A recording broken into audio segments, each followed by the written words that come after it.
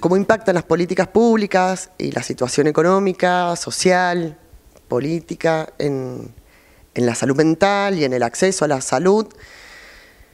Estamos viviendo entre la pospandemia y el gobierno nacional actual y el gobierno provincial también, que se suma a las, políticas, muchas veces a las políticas nacionales, em, un aumento en las problemáticas de salud mental, que lo decimos todos, se ve, se siente, lo vivimos, lo compartimos, eh, angustias, depresiones, eh, estrés, intentos de suicidio, autolesiones, eh, que tienen un impacto directo, ¿no? Quedarse sin trabajo tiene un impacto directo en la salud mental, las no poder acceder a las escuelas y la problemática económica de no llegar, la comida, ya sabemos, el hambre mata y eso tiene un impacto directo. Estamos teniendo un aumento muy notorio de consumo de lo que se llama crack o le llaman crack, que es la cocaína fumada. Eso en los territorios se está extendiendo muchísimo y, trae muchos, muchos problemas porque es cocaína de muy mala calidad, muy cortada, que produce un efecto muy rápido y, el bajón también es muy rápido. Eso es algo que compartimos a nivel nacional también con, las provincias. Desde la salud pública, lo que venimos observando, yo soy trabajadora de la salud pública, de salud mental, eh, venimos observando una dificultad muy seria digo, un aumento en la demanda y al mismo tiempo una dificultad muy seria para sostener los procesos eh, de, de, tratamiento, de acceso a la salud. Lamentablemente la población y los sujetos tienen que elegir qué hacer. Comer, vivir, alimentarse, calentarse o, vestirse o ir al psicólogo, a la psicóloga. Y después en lo privado, bueno, eh, pasa un poco lo mismo, digamos, ¿no? El acceso a la salud mental en los sectores privados eh, cada vez es más alta la consulta, pero al mismo tiempo se pide eh, más espaciado el tratamiento. Y los sectores que quedaron más vulnerados o que quedan más vulnerados o vulnerables son las juventudes, las infancias y las juventudes y la tercera edad.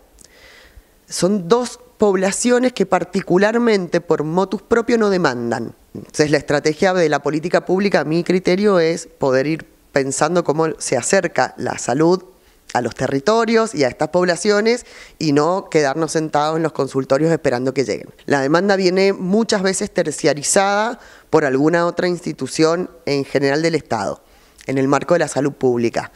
Como digo, hay algunos centros de salud, los centros de salud cabecera de cada uno de los municipios tienen eh, equipos de profesionales de salud mental, de los que no son cabecera, alguno tiene, la realidad es que es muy difícil acceder.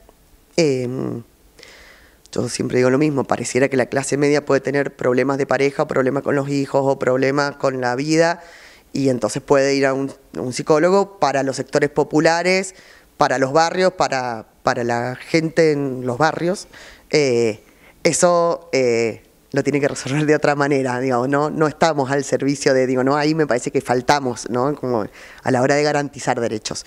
En lo privado, eh, las obras sociales, las obras sociales, todas las obras sociales o las mutuales eh, o las prepagas tienen la obligación de ofrecer profesionales, eh, si les responden que no tienen profesionales de salud mental, hay que ir a reclamar porque tienen que tener una cartilla de profesionales. Esa cartilla tiene que estar pública, la tienen que actualizar. El Colegio de Psicólogos y Psicólogas tiene convenio con algunas, obras sociales y prepagas. Eh, se nos puede consultar, entran a la página del Colegio de Psicólogos de Mendoza y ahí están las obras sociales con las que trabajamos, eh, con las que articulamos desde el, desde el colegio. Y después, bueno, somos casi 5.000 psicólogos y psicólogas en la provincia, somos muchos. Em, también es, es, buscar, el listado de, psicólogos está habilitado, eh, en la página del colegio está público también para, para poder ver si realmente es un profesional de la salud mental, porque otra de las cosas que surgen frente a estos contextos de crisis y a la lógica capitalista también de las soluciones rápidas ya, ojo con las terapias alternativas que dan respuestas rápidas.